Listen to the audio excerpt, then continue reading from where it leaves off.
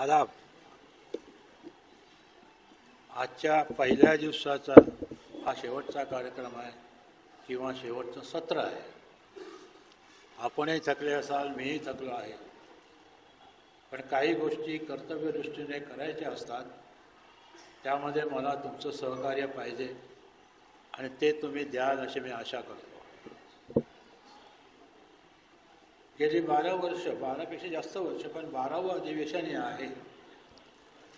दुर्दैवाची गोष्ट आहे की अखिल भारतीय मराठी साहित्य संमेलनाने त्याची अजूनपर्यंत दखल घेतलेली नाही. एक चिपळूणच अपवाद केला तर. असं व्हायला नाही पाहिजे. आता ह्याच्यात आमचं चुकलं का त्यांचं चुकलं हे काही सांगता येणार नाही. पण काहीतरी प्रयत्न आपल्याला करावे लागतील.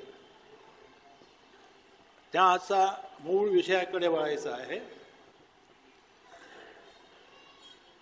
त्या विषयाचं नाव आहे राष्ट्रवादी कोणाची मिराजदारी आता राष्ट्रवाद आणि मिराजदारी या दोघांची सांगड घालायची असेल तर पहिल्यांदा आपल्याला राष्ट्रवाद म्हणजे काय हे नीट समजून घ्यावं लागेल. तुम्ही म्हणाल हे काय आम्हाला शिकवता? आम्हाला माहिती आहे. ते माहिती आहेच. पण जे माहिती नाही आहे ते मी सांगतो की जगात असा एकही देश नाही की जिथे राष्ट्रवादाची कल्पना एकापेक्षा अधिक आहे. अपवाद फक्त भारताचा आहे. भारतामध्ये आज मितीला दोन राष्ट्रवादाच्या संकल्पना परिचित आहेत प्रचलित आहेत आणि त्याचा प्रसारही मोठ्या धूमधडाक्याने चालू आहे. एकोणीसशे सत्तेचाळीस साली जेव्हा भारताला स्वातंत्र्य मिळालं आणि पहिले पंतप्रधान पंडित जवाहरलाल नेहरू हे त्या तक्तपोशीवर बसले आणि तेव्हापासून पाश्चात्य जर्नलिस्टची आपल्याकडे रीग लागली होती. अशाच एका बातमीदाराने म्हणा किंवा जर्नलिस्टने म्हणा पंडितजींना प्रश्न विचारला की नव्याने जन्माला आलेल्या या देशाच्या विकासामध्ये तुम्हाला कसला अडथळा दिसतोय? तितक्या सहजपणे त्याने उत्तर दिलं. बहुसंख्याकांचा धर्मवाद. Communalism communalism of the majority is the greatest danger to our new democracy असं त्यांनी सांगितलं होतं. आज ते शंभर टक्के खरं होत आहे. मग आपण राष्ट्रवाद कुठचा म्हणायचा? कारण कुठला एक धरला तर दुसऱ्या कायद्या दुसऱ्याच्या संकल्पनेप्रमाणे आपण देशद्रोही ठरतो आहोत. आणि हिंदुत्वाचा राष्ट्रवाद स्वीकार केला तर ते आपल्याला घ्यायलाच तयार नाही आहेत. पण ज्या महाभागाने सत्तेचाळीस नंतर घटना समितीची स्थापना केली आणि आपल्या घटना तयार करायच्या उद्योगाला ते लागले त्या मंथनातून जे अमृत आलं ते आपली संविधान आहे. कारण संविधानाच्या पायावरच आपलं राष्ट्र उभं आहे. ती जरा डळमळली की संपूर्ण राष्ट्र कोसळून पडेल. आणि म्हणून आपल्याला संविधानाचं राजकीय तत्वज्ञान आणि त्याला असलेली सेक्युलरिझमची एक चालत हे काय आहे हे आपण नीट समजून घेतलं पाहिजे. तुम्ही म्हणाल हे काय सांगताय आम्हाला? गरज आहे सत्तेचाळीस नंतर पहिली काही वर्ष सोडली तर हा देश सेक्युलर का झाला या प्रश्नाविषयी कोणीही चर्चा केलेली नाही. मी त्याचा चालता बोलता साक्षीदार आहे. ह्या सगळ्या गोष्टी आमच्यासमोर झालेल्या आहेत. आणि म्हणून सेक्युलरिझमच्या किंवा सेक्युलरिझमचा मागे जाणाऱ्या विचाराची गाज धरणाऱ्या लोकांना त्यांच्या दुसऱ्यांच्या अशा शिवाय ऐकायला लावतात. सिडो सेक्युलरिस्ट आणि जे त्यांच्या विचारपणामुळे देशाच्या छकल उडवण्याच्या मार्गाला जात आहेत ते मात्र या देशामध्ये देशद्रोही नाही देशप्रियतेचे अगदी शिरोमणी म्हणून मानले जातात. हा आपल्या एकूण राजकीय तत्वज्ञानामधील विरोधाभास आहे. आणि याला काही प्रमाणात मुसलमानही जबाबदार आहे. सत्तेचाळीस साली जेव्हा पाळणी झाली आणि त्यांच्यामधले जे काही जायचे होते ते बरेचसे लोक पाकिस्तानात गेले. उरलेले जे इथे राहिले होते ते एका अगतिक अवस्थेत होते. पुस्तकात वाचलेलं सांगत नाही. त्यावेळेस मी भेंडी बाजारात राहत होतो. आजूबाजूच्या लोकांमध्ये फिरत होतो. त्यांच्यामध्ये एक सर्वसाधारण भावना काय आहे हे तिथे मी ऐकलं.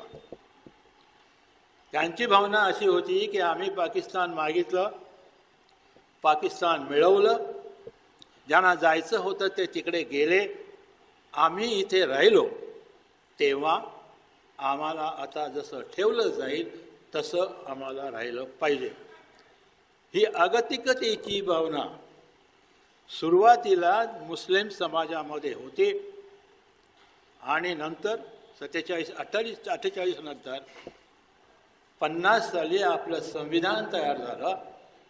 बावन्न साली पहिली निवडणूक झाली आणि भारतातल्या मुसलमानांना आपल्या मतदानाची किंमत कळली. त्या दिवसापासून आजपर्यंत प्रत्येक राजकीय पक्ष त्यांचे नेते हे मुसलमानांचा वापर फक्त मतं मिळवण्यापुरता करतात. त्यांच्या अंतिम कल्याणाच्या काय गोष्टी आहेत ज्या त्यांनी केल्या पाहिजेत आणि ज्या गोष्टी त्यांना निरपेक्षपणे सांगितल्या पाहिजेत याकडे कोणीही लक्ष दिलं नाही. मतदान. एकजूट मुसलमानांची मतं आम्हाला कशी मिळतील याकडे काँग्रेसने पाहिलं समाजवादी पक्षानेही पाहिलं आणि दुसरीकडे हिंदूंची मतं आम्हाला कशी मिळतील याचा विचार हिंदुत्ववादी नेत्यांनी पक्षाने केला. आज त्या वृक्षाला भरभरून फळं आली आहेत. आणि यापुढे आपण कुठे जाणार आहोत हे आपल्याला सांगता येणार. राष्ट्रवाद आहे कुठे? कुठला राष्ट्रवाद आम्ही मार्गायचा मिराजदारी कोणाची आहे ते आपण नंतर ठरवू पण आम्ही कुठल्या राष्ट्रवादाच्या वर्गामध्ये जातो? कारण राष्ट्रवाद म्हणजेच आम्हाला कोणी काही शिकवलेलं नाही. मुळात राष्ट्र म्हणजे काय? राष्ट्राची पहिली गरज असते ती अखंड भूमी. नंबर दोन त्या भूमीवर राहत असलेले सर्वसाधारण लोक. तिसरं त्यांची सांस्कृतिक धार्मिक भाषिक अशी एकात्मता हवी आहे पण ह्या सगळ्या गोष्टी असूनही राष्ट्र निर्माण होतं असं नाही. पाकिस्तानामध्ये आता मुसलमानच राहत आहेत. उर्दू त्याने आपली राष्ट्रभाषा बनवलेली आहे. आज त्यांना विचारायला कोणी नाही. आणि तरीही पाकिस्तान हे मुसलमानांचं एकात्म राष्ट्र आजही सत्तर वर्षानंतर निर्माण झालेलं नाही. कारण त्यांच्यामध्ये असलेले अंतर्गत मतभेद आता उफाळून वर यायलेला युरोपमध्ये सगळा युरोप एक अखंड भूमीचा भाग आहे. धर्मही सगळ्यांचा सारखा आहे.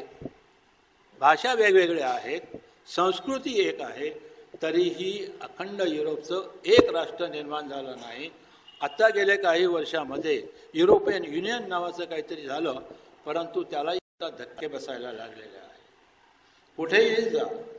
आणि ह्याचा विचार भारताच्या स्वातंत्र्य युद्धातील सगळ्या नेत्यांनी तेव्हाच केला होता की आपल्या देशातील इतकी प्रचंड विविधता. धार्मिक विविधता आहे संस्कृत आहे भाषिक आहे भौगोलिक आहे. आणि सगळ्यात सोपं सांगायचं म्हणजे आपल्या देशात जन्माला येणारी प्रत्येक व्यक्ती तीन अस्मिता सोबत घेऊन जन्माला येते. ज्या आईबापाच्या पोटी त्या मुलाचा जन्म होतो त्या आई वडिलांचा धर्म ॲटोमॅटिकली सहजपणे त्या मुलाला चिकटतो. म्हणजे त्याची धार्मिक अस्मिता त्याच्या वडिला आई वडिलांसारखीच होते. ही त्याची पहिली अस्मिता असते. दुसरी अस्मिता त्याची अशी निर्माण होते की ज्या प्रदेशात तो जन्माला येतो त्या प्रदेशाची एक अस्मिताही त्याला चिकटते.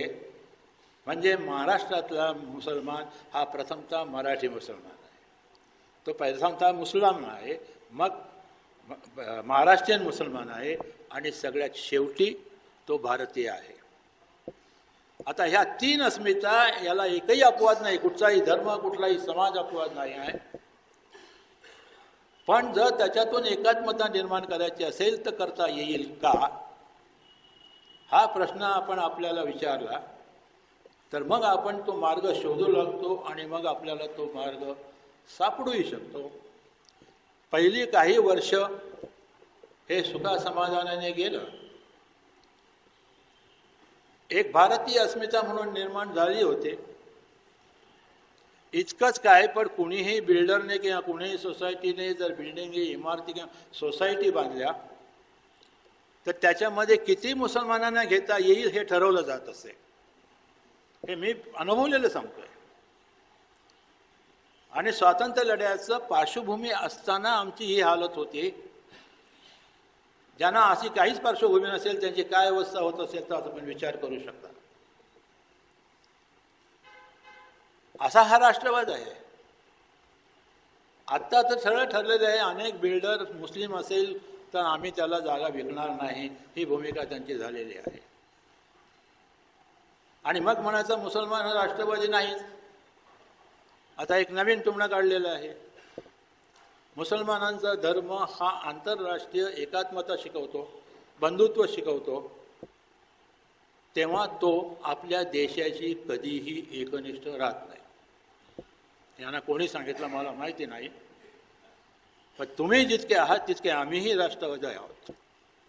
राष्ट्राचा संबंध भूमीशी येतो. आणि भूमीचा संबंध एकूणच जीवजंतूशी येतो केवळ माणसाशी येत नाही.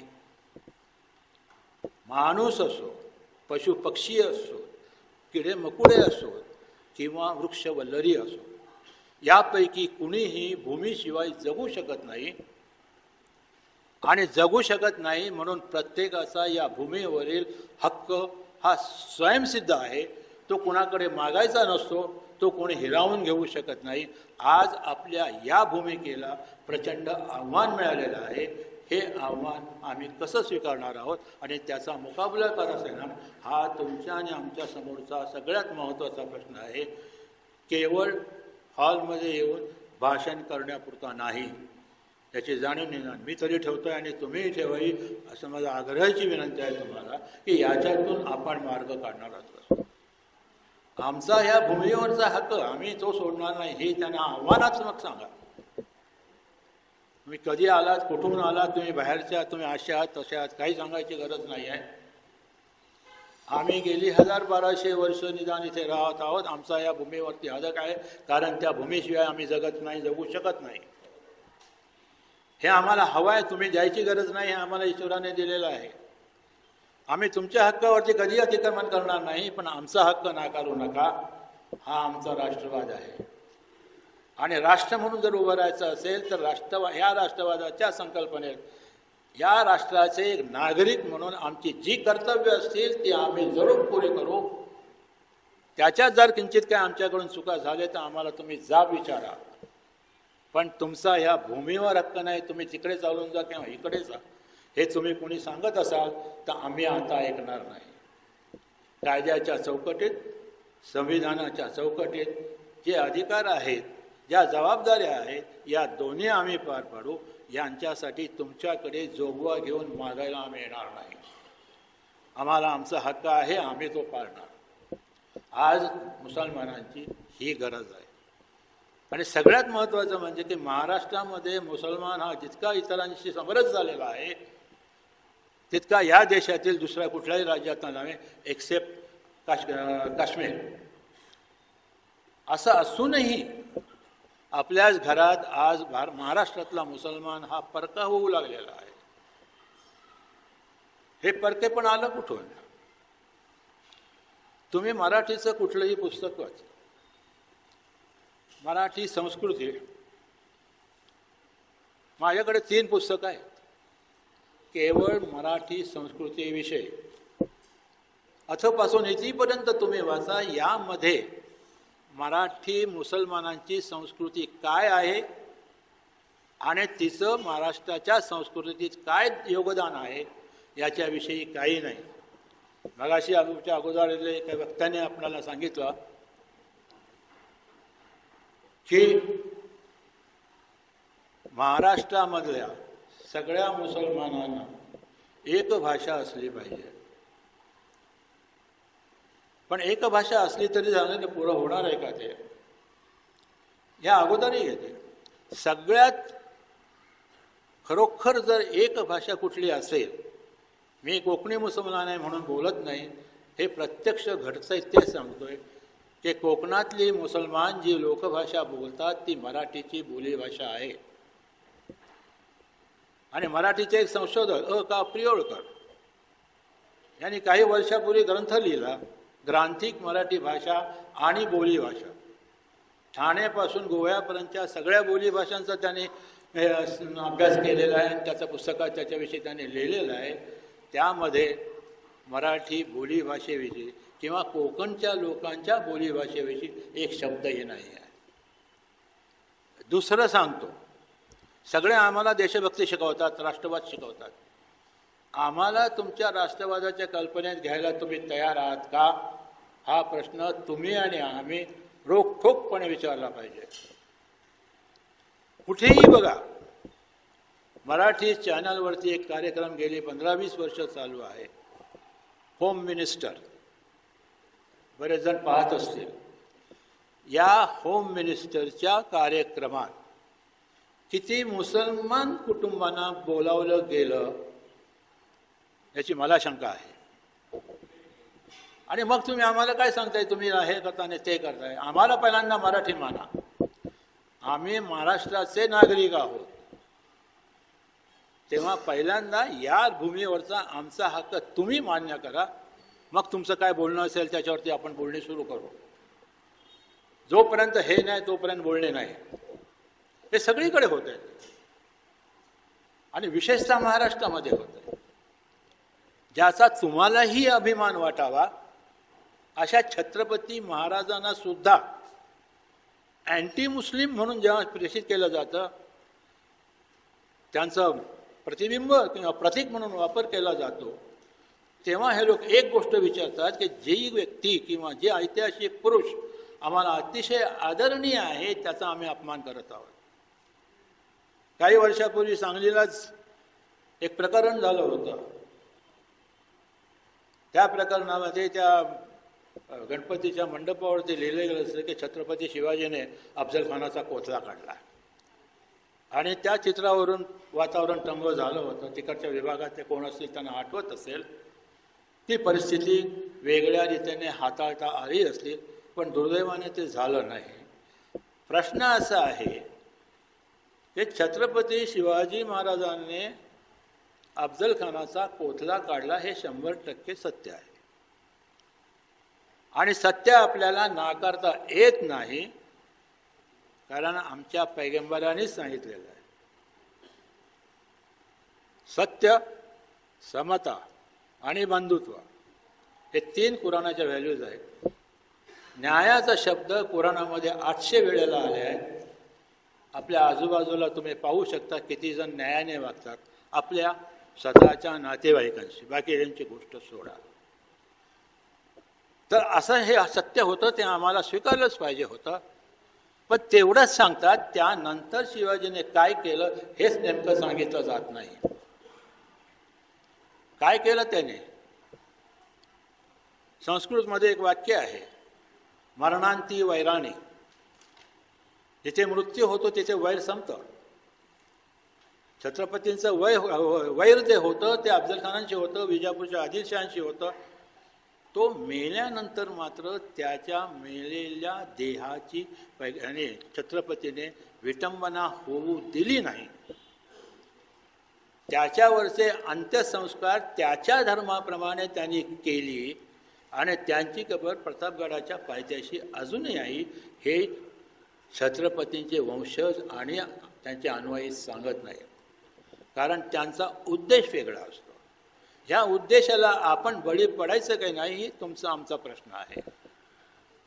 त्यांना आपल्याला उत्तर देता आलं पाहिजे आणि त्यांना उत्तर द्यायचं असेल तर आपल्याला आपला इतिहास आणि आपल्या देशाचा इतिहासही आपल्याला समजून घ्यावा लागेल. तो इतिहास म्हणजे मुघलांची साम्राज्य नव्हे.